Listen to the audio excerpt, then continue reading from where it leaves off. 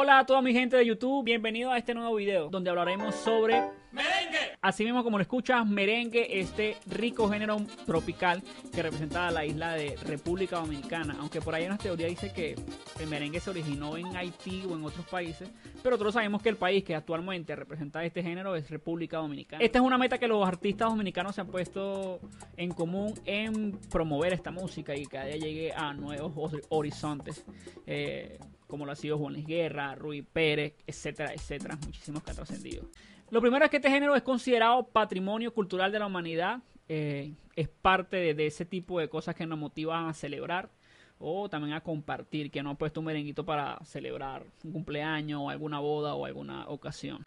Ok, para hablar de este género quiero entrar en sus raíces y creo que no solo en la parte histórica, sino en la parte musical hay un instrumento que fue creado para este género y es...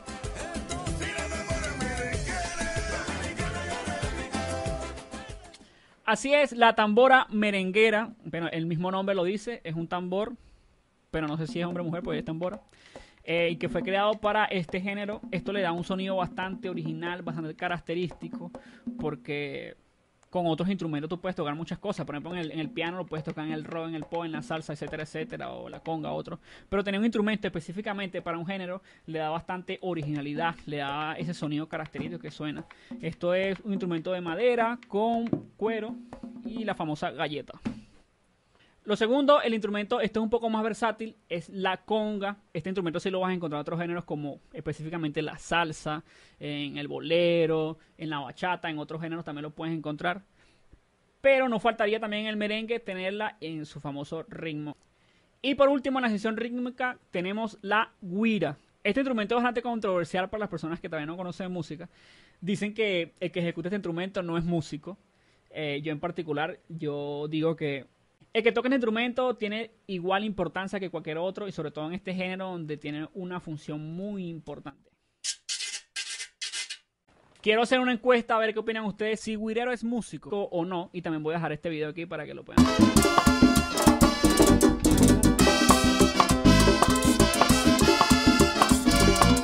Ok, quiero organizar este género musical en tres ritmos o en tres maneras de tocarlo. Quiero dejar claro que esta es mi opinión personal de cómo entiendo el género o cómo lo asimilo. O hay otra pedagogía mm, distinta para poder enseñarlo. Pero esta es mi manera coloquial de haber entenderlo. Lo primero que encontramos en este género es el merengue derecho y suena así.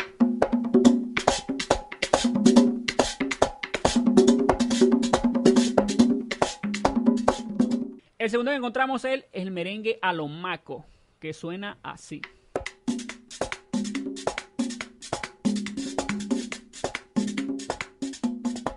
Y tercero, en este video, vuelvo repito, eh, existen muchísimas más variaciones, pero una de mis favoritas es el, el pambiche.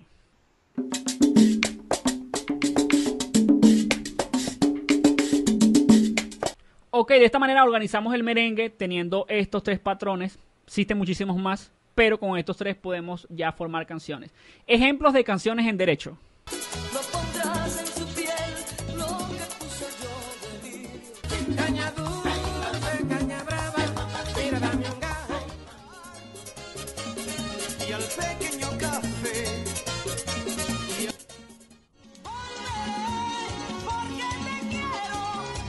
Buscando visa para un Ejemplos de canciones a lo maco.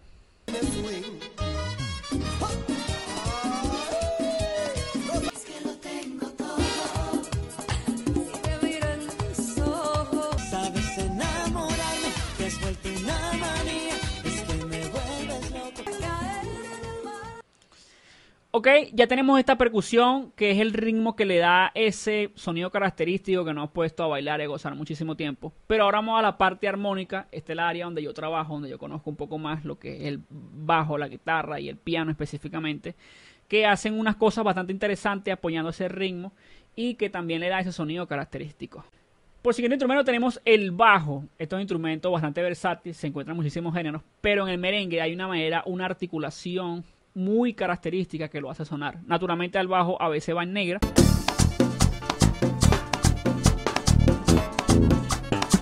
Pero no solo es tocar negras como si pudieras tocar un swing de jazz o pudieras tocar un rock o un funk, sino que tiene una articulación bien particular, como una manera de mutear las notas, que simula el sonido de un bombo. El siguiente instrumento armónico que encontramos en el merengue es el piano tenemos mi instrumento favorito, el piano. Eh, aquí hay mucho de qué hablar, obviamente porque soy pianista, profundizar un poco más. Pero en el merengue antiguamente era más común hacer que las dos manos hicieran exactamente lo mismo. Por ejemplo.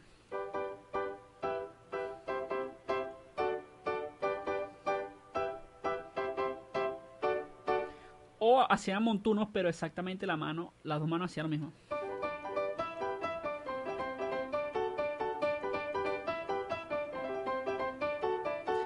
¿Dónde empezó a ser interesante? Cuando cada mano hacía algo distinto eh, y eso le daba, le da bastante ritmo. Por ejemplo.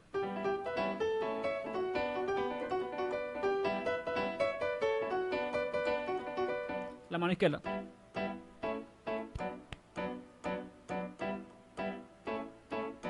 Ya aquí tenemos el ritmo. Y la mano derecha lo que hace es dibujar.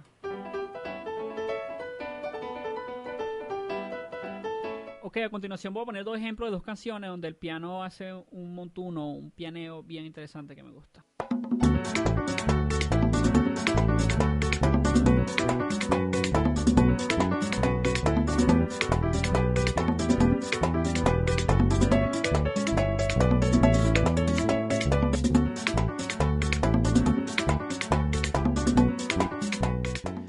Ya tenemos la percusión, tenemos la armonía. Ahora vamos a una parte súper importante que son los metales. Esta parte es súper importante, eh, sobre todo porque merengue evolucionó y ellos no eran parte de los instrumentos que hacían merengue típicos, sino que se hacía con.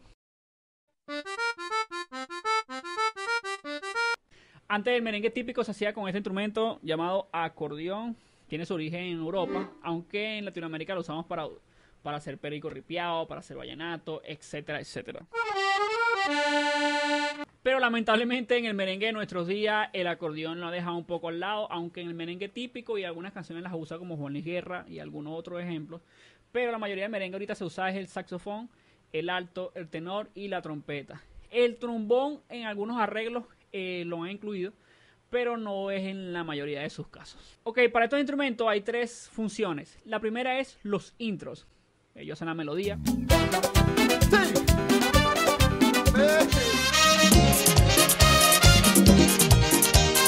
La segunda, el background. Mientras, mientras está la voz de la melodía del cantante, ellos están acompañando por atrás.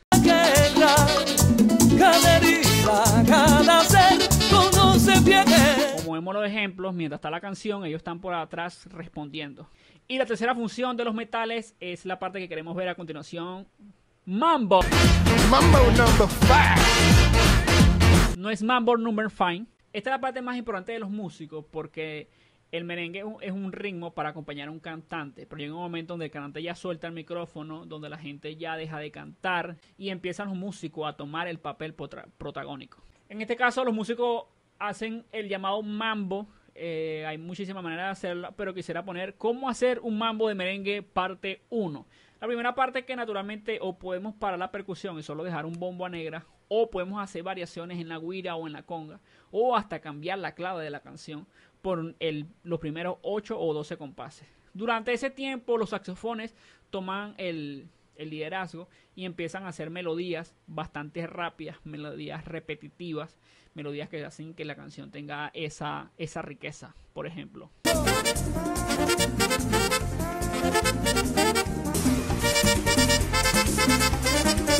Todo esto no es más que un preámbulo para que cuando llegue la trompeta todos los instrumentos empiecen a marcar negras o irse a un nuevo género.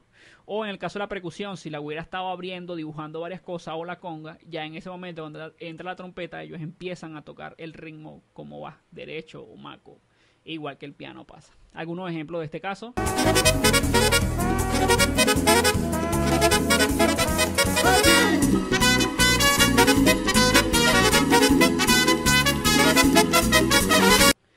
Primero los saxos.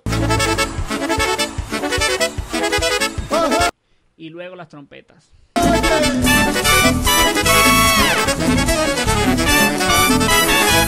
Y así tenemos un merengue. Yo sé que este video podría ser mucho, muchísimo más largo, pudiésemos abarcar muchísimo más temas, pero el video podría durar dos horas, que no es la intención de este video. Comenten ustedes si quieren que hagamos, hablemos de merengue parte 2.